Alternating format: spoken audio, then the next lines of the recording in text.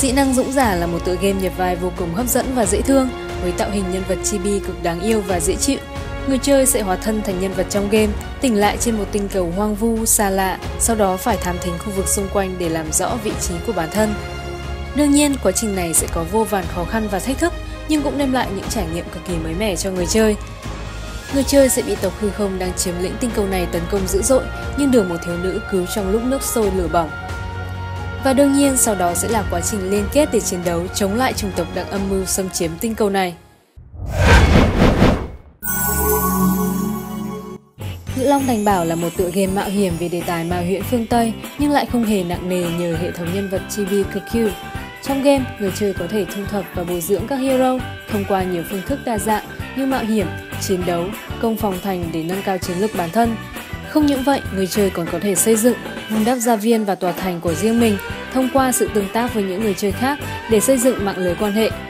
Các gameplay của Cự Long Thành Bảo cũng đơn giản, dễ chơi nhưng lại cực kỳ phong phú. Trừ chiến đấu PvP và PvE ra, người chơi còn có thể trải nghiệm rất nhiều gameplay mới mẻ như xây dựng gia viên, sản xuất, do thám, công hội.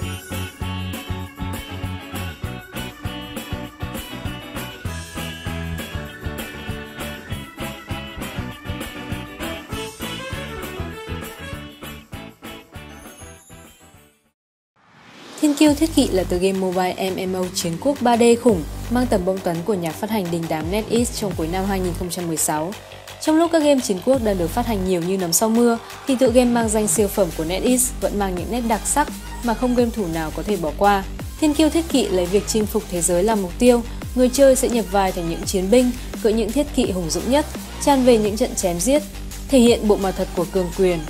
Bên cạnh được trải nghiệm những trận chiến máu lửa và kích thích, người chơi còn được trôi theo dòng lịch sử, được chứng kiến sự phồn hoa của trung thổ, sự bát ngát của thảo nguyên và đặt chân lên những đại mạc mênh mông.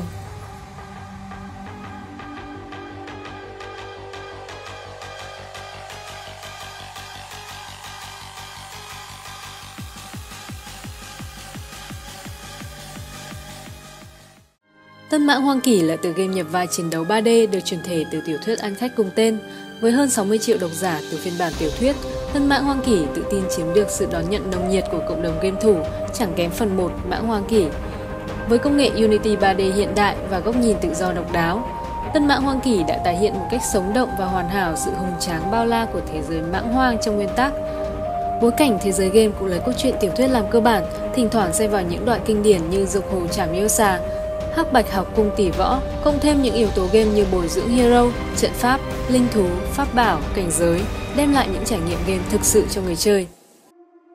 Năm 313 công nguyên, yêu tinh hiện thế, tất cả phong ấn ma thú thượng cổ trên đại lục mã Pháp bị giải khai, các yêu thú cũng vì vậy mà được giải thoát ô ạt, dẫn đến những cuộc chiến với nhân loại tàn khốc và máu tanh nhất lịch sử. Cuộc chiến tuy cuối cùng vẫn kết thúc với chiến thắng thuộc về con người, nhưng vì chiến thắng này mà con người đã bỏ ra một cái giá quá đau đớn và thê thảm. Người của 11 thôn trên đại lục này đã thương vong gần hết, cuối cùng chỉ còn lại chưa đến 200 người sống sót. Với ba class nhân vật, chiến sĩ, pháp sư và đạo sĩ, đi kèm với những kỹ năng chiến đấu riêng biệt, người chơi sẽ phải nhập vai và chiến đấu vì sự tồn vong của mã pháp đại lục.